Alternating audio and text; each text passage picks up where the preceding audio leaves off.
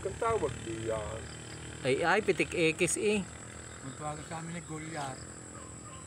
Anong tawag sa inyo? Kamay Hindi. niya.